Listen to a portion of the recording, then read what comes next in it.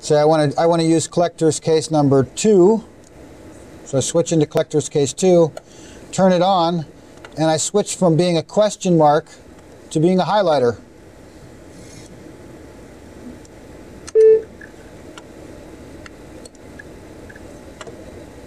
And that's what we just highlighted. What we just took.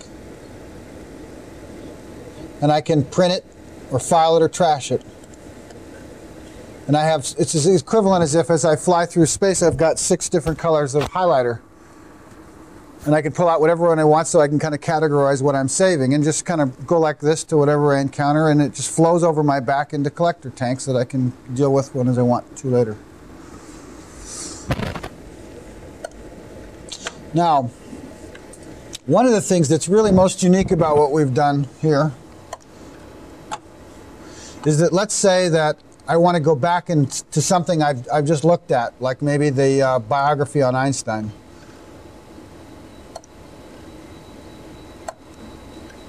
That's not what I wanted to do.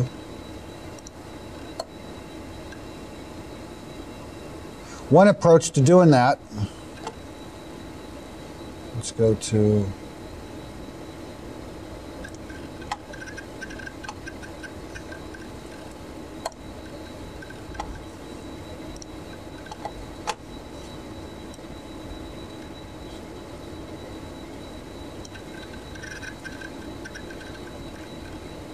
I can, I can use these icons, this reference level, this representation level, to travel back in my own personal path.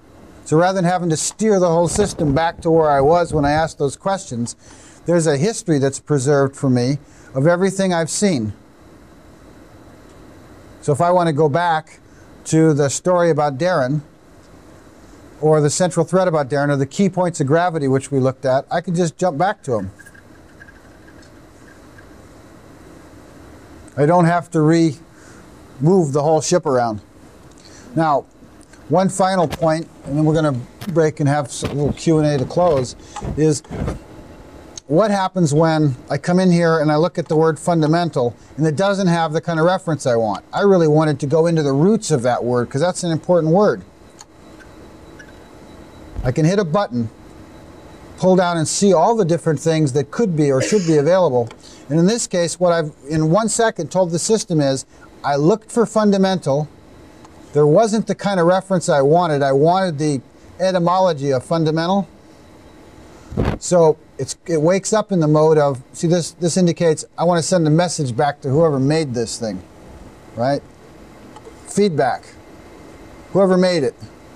Fundamental, there wasn't any roots for it. I hit a button and the message has been sent.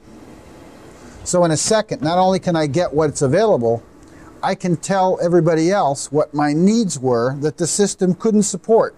So that the system can begin to learn how to support the needs of people that are actually learning from what's going on. Do that again. Um, universe. Say that I wanted to have a full elaboration on the universe and there wasn't one. Or let's say I have a question. You're in my class with me, and I say, All right, uh, Steve, I, what do you think about this universe stuff? And I use the same structure that we're using in all these other levels to become the rubric, if you will, to be able to pass messages back and forth, to be able to tell the system that created this material what my needs were that it didn't meet. And finally, Let's suppose that I wanted to write something and contribute it to the class or to the school or to the district. That I go into the publish mode and I put whatever I want in, and then it, it, it actually fires what I've created into the system to become a resource for all the learners that follow me.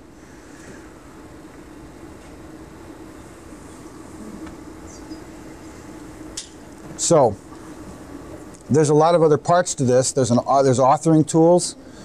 There's the teacher interface, there's the curriculum interface, there's how it is that we organize the data in, the, in what we call meaning modules so as to allow this kind of power of responsiveness to be deliverable on pretty economic you know, hardware platforms.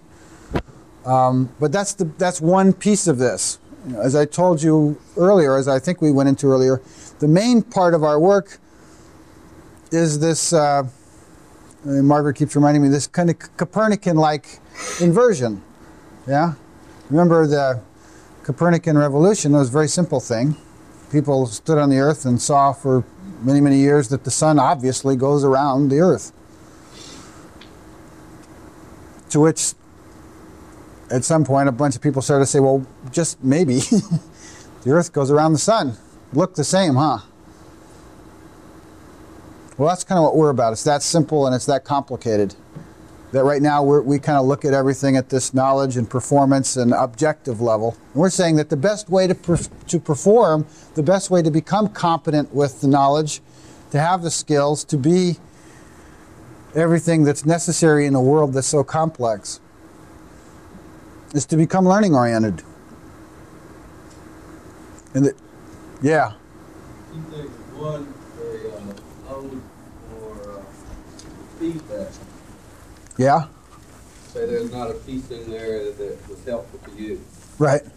And you said that you could send a message that this was not helpful to me. Right. How does the, uh, where does it go? It can go both to the teacher, to the person responsible for that kind of curriculum at any level within the, the district.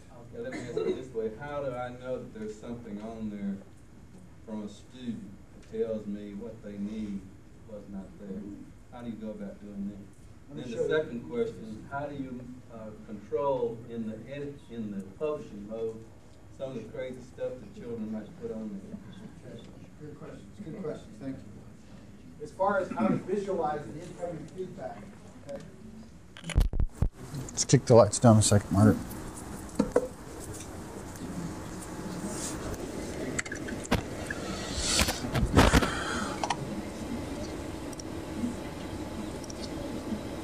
Remember I told you just a moment ago that I said I, I wanted um, the roots of fundamental and I wanted the uh, full elaboration of the universe. See that in this feedback window,